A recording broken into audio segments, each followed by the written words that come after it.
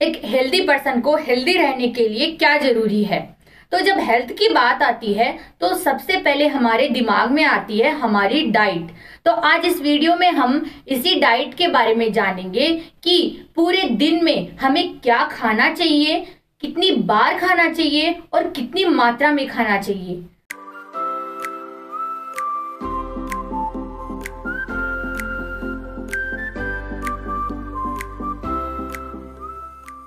My self Pragati Joshi welcome in fit me PJ तो सबसे पहले हम देखते हैं कि हेल्दी रहने के लिए हमें क्या खाना चाहिए।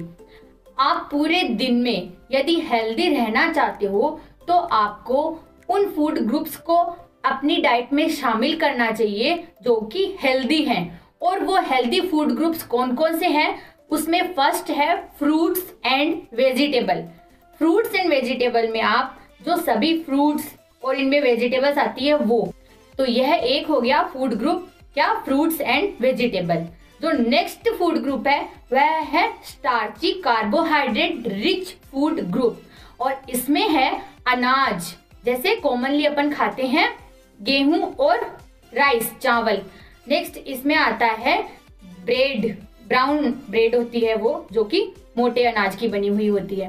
नेक्स्ट इसमें आता है पास्ता और वो सभी अनाज जिनसे आटा बनता है, जैसे कि बाजरा, जो, मक्का, ठीक है? तो ये है starchy rich carbohydrate food group. Next food group है protein rich food group. Protein rich food group में क्या आता है? सभी दालें, फलियाँ और meat, chicken, fish, egg. Next food group है डेयरी प्रोडक्ट्स। इसमें दूध और दूध से बने हुए फूड्स आते हैं, जैसे कि दूध, दही, छाछ, घी, पनीर, ये सब आते हैं डेयरी प्रोडक्ट्स में। नेक्स्ट है फेट फेट भी हमारी डाइट में स्मॉल क्वांटिटी में होना चाहिए। इसमें आप अनसेचुरेटेड ऑयल ले सकते हो, जैसे कि ओलिव ऑयल तो हमने देखा कि कौन सा फ़ूड ग्रुप हमारी डाइट में होना चाहिए। अब हम देखते हैं कि पर डे इन फूड्स को हम कितनी बार लें। जैसे कि पहला फ़ूड ग्रुप है fruits and vegetable fruits and vegetable को पूरे दिन में कम से कम पाँच बार लेना ज़रूरी है। नेक्स्ट है अनाज मतलब स्टार्ची कार्बोहाइड्रेट रिच फ़ूड जिनमें मेनली आता है गेहूँ और चावल। वो आपको पूरे दिन में तीन बार लेना चाहिए और वह कौन कौन से हैं? ब्रेकफास्ट लंच और डिनर नेक्स्ट फ़ूड ग्रुप है प्रोटीन प्रोटीन रिच फ़ूड जैसे कि फलियाँ, दालें, इनको आप पूरे दिन में कम से कम दो बार लेना ज़रूरी है। नेक्स्ट फ़ूड ग्रुप है डेयरी प्रोडक्ट्स डेयरी प्रोडक्ट्स में जैसे दूध, छाछ, दही, इनको आप पूरे दिन में कम से कम दो बार लें। नेक्स्ट फ़ूड ग्रुप है फेट फेट आपको स्मॉल क्वांटिटी में लेनी है और वह इंश्योर करें कि अनसेचुरेटेड ऑयल्स हो। सेचुरेटेड फैटी एसिड जैसे कि घी। घी को आप कम से कम अपनी डाइट में लें और ओलिव ऑयल और अनसेचुरेटेड फैटी एसिड्स को ही अपनी डाइट में लें। नेक्स्ट हम देखते हैं कि हेल्दी फूड्स को हम पूरे दिन में कितनी मात्रा में लें। एक हेल्दी पर्सन को 2000 किलो कैलोरी पर डे लेना ज़रूरी होता है और हर फ़ूड की कैलोरी मेज़रमेंट हम नहीं कर सकते।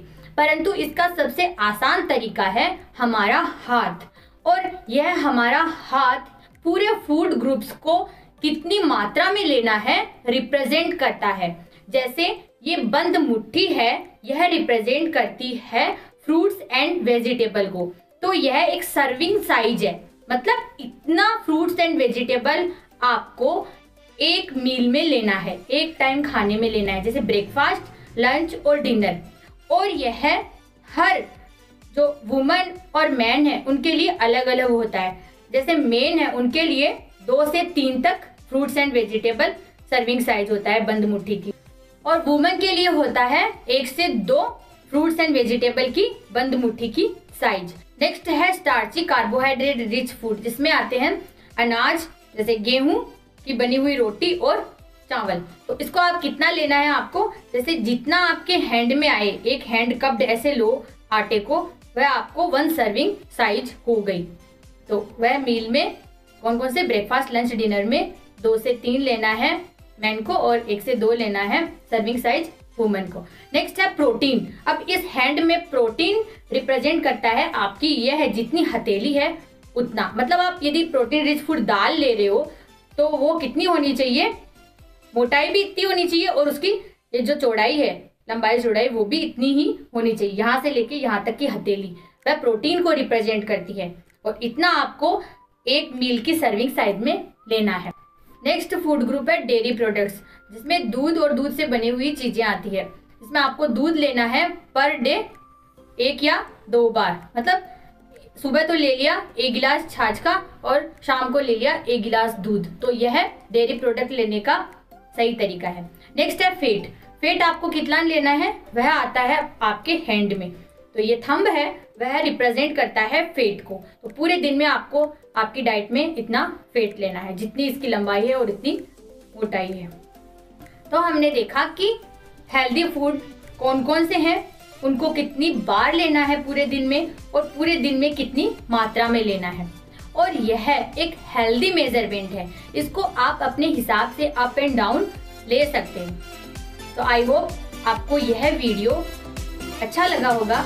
तो चैनल को सब्सक्राइब करें और बेल आइकन दबाएँ और वीडियो को लाइक करें, कमेंट करें, शेयर करें। Thank you.